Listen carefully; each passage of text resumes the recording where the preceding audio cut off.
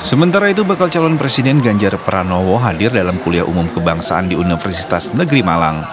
Kepada mahasiswa, Ganjar menerangkan bagaimana pentingnya pendidikan dalam membangun bangsa yang kuat dalam menghadapi segala permasalahan, seperti climate change, energi, pangan, dan lain-lain. Ganjar juga berinteraksi dengan mahasiswa agar mendengar langsung aspirasi mahasiswa dari berbagai daerah.